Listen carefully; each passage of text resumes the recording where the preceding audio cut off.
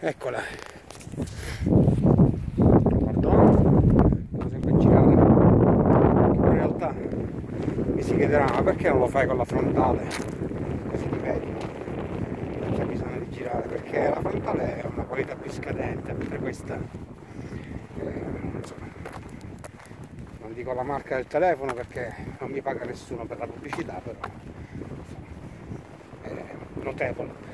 Eh, nono giorno di cammino da Almendralejo spero che eh, lo pronuncio bene perché non mi entra in testa questo nome. Ho appena superato Torre Mach eh, che era la tappa intermedia quella che volevo raggiungere ieri un bazzo se sapeste quando sono arrivato ad Almendralejo e mi sono tolto le scarpe quello che ho visto sui miei piedi ah meravigliosa poi con una bella doccia è andato via tutto però sì, sì, c'è da restare a volte un po' impressionati e da quello che eh, succede a dei piedi non abituati a fare, a fare 40 km in un giorno.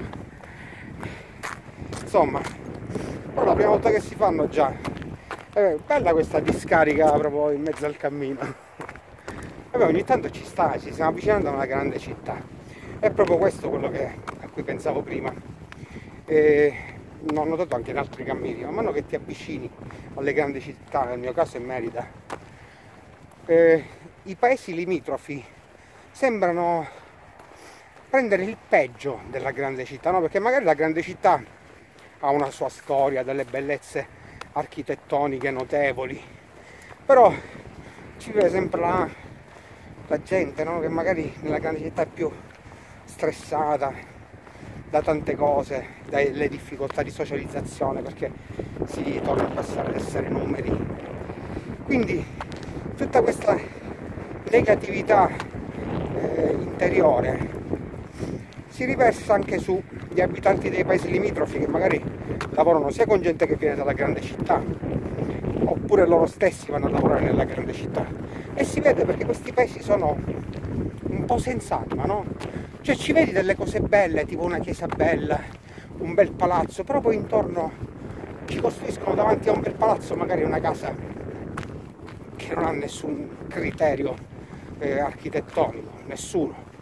Cioè io ho apprezzato tantissimo i paesini, tipo la Moneta della Plata, Castilblanco, case semplici, semplicissime, case povere, però tenute benissimo, bianchissime perché probabilmente gli passano il bianco continuamente per non farli andare eh, qua invece no, non succede in questi paesi. Cioè trovi sporcizia per terra è come se la gente fosse più lasciata andare come se non avesse un'anima.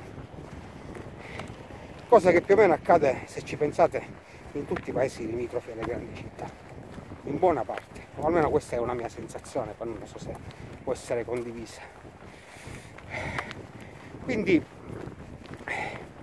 va bene uguale perché il cammino in qualche modo quando è il cammino eh, per come lo vivi tu regala delle emozioni. Io lo vivo in un certo modo perché sento il bisogno di vivere in un certo modo anche perché è la mia fede attuale. Ora riflettevo anche un po' su questo eh, perché qualcuno potrebbe pensare vabbè perché vedi le frecce, è suggestione, cioè non ti stai pian piano sentendo meglio perché il cammino a chissà cosa, e perché vedi la freccia, tu credi che quella freccia l'associ a un simbolo che in fondo hai sempre la strada accanto, perché poco fa sulla strada stai male, qua invece stai... Vedete, su alcune cose non c'è neanche bisogno di interrogarsi, secondo me troppo, perché se ci stai troppo a pensare, si spezza la magia. E alla fine cos'è più vantaggioso per noi? Credere in una realtà che ci siamo costruiti su misura o essere sempre troppo attaccati ai sensi. In fondo la scienza ci dice che ci sono delle cose che noi non vediamo, eppure esistono. A parte la fisica dei quanti, ma gli stessi raggi infrarossi, gli ultravioletti, ci sono tanti elementi in natura, le molecole di ossigeno non le vediamo, i nostri occhi non ci fanno vedere tutto, anche per una questione di comodità, perché ti immagini che confusione sarebbe mentre stai guidando la macchina sull'autostrada vederti tutti i raggi che ti passano, le molecole di ossigeno che ti, ti passano davanti agli occhi, sarebbe un delirio, non potresti guidare. Quindi io credo che la fede sia, sia anche questo, cioè nel senso è un mix tra la magia, che è ciò che non vediamo, e la realtà. Cioè, la realtà è che sul cammino ci sono delle cose che ti fanno stare bene. Da questa parte c'è la strada e le macchine che passano, la vita ordinaria. Da quest'altra ci sono le querce, gli olivi, la campagna, l'idea che tra un po' sarò di nuovo immerso nel silenzio. E cioè cosa mi conviene scegliere? Cioè il fatto che qui mi hanno costruito una cosa apposta per farmi stare bene, mentre lì c'è la vita ordinaria, o che qui ci sia una magia diversa, che qui ci sia la vita per come per come non ci è stata insegnata, per quella che è realmente per noi, per quella che dovrebbe essere per noi. Ora è difficile dare risposta ad alcune domande perché entriamo davvero nel campo della metafisica, ma io credo che la cosa importante sia davvero credere in qualcosa. Ora io penso nella mia forse un po' superbia che ciò in in cui credo non si discosti poi così tanto dalla realtà.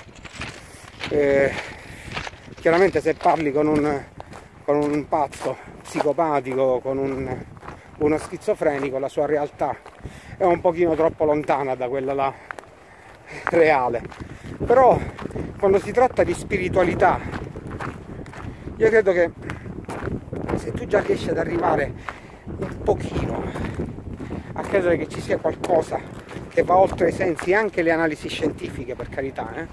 se riesci a credere la tua vita migliora e il cammino ti aiuta almeno il cammino mi aiuta in questo a credere che ci sia qualcosa che va al di là la famosa ricerca della magia anche se qui a volte è un po' difficile orientarsi sapete? ora cambiando discorso perché io mentre parlo poi cammino magari mi manca una freccia che mi piacerebbe in realtà andare di qua però non credo che sia di qua perché il, il cippo dell'Estremadura mi indica questa strada. Quindi immagino che sia questa. Va bene proseguiamo. Dove c'è la ferrovia è un pochino più vintage dell'autovia.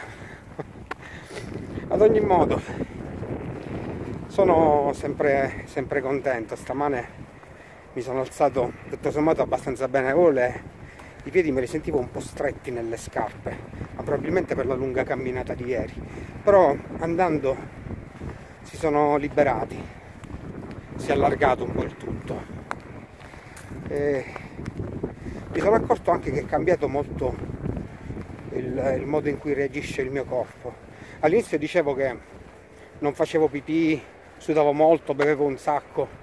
Adesso invece ho ricominciato a fare tutto regolarmente, bevo normale, normalmente, eh, faccio pipì, una particolarità è che è cristallina, è trasparente, come mi hanno sempre detto, la pipì deve essere trasparente, guai a te se puzza o se è di diverso colore. Quindi è come se il mio corpo si fosse ripulito del tutto all'inizio e adesso non avesse bisogno di molto, no? Per andare avanti. È perché per ritornare al nostro stato, cioè di nomadi, di camminatori, dobbiamo essere puliti. Quindi lui si è ripulito tutto e ora mi sta facendo andare serenamente. che meraviglia. Va bene, volevo solo dire questo sulla strada per eh, Merida, sperando che il vento non condizioni troppo le mie parole. Eh, ci risentiamo dopo, oppure domani uguale. Tanto comunque con eh, la camerina qui sto facendo anche un sacco di riprese sto fissando diversi pensieri. Per me è importante questo più che qualsiasi altra cosa. Non è tanto. La condivisione sì. Sapere che ci sono persone che possono, che tu che guardi in questo momento, puoi sorridere e dire, mica, Nicola è vero, cazzo bella questa cosa, anch'io la sento. Allora è giusto, non, mi, non sono un coglione, no? Cioè la condivisione, il fatto di sentirsi parte di qualcosa che comunque appartiene a tutti, in cui possiamo riconoscerci tutti, è importante, quindi io ho anche questa, questa speranza, però serve anche a me perché mi piace pensare che eh, un giorno quando riguarderò queste immagini eh, riuscirò a rievocare queste emozioni. Basta. E vado avanti, che se no parlando troppo poi qua uno si stanca, poi mi, mi smarrisco le frecce e già oggi è un pochino particolare questo percorso perché è stato metà carrettera e l'altra metà sembra carrettera sembra. Spero di no. Ad ogni modo, a dopo!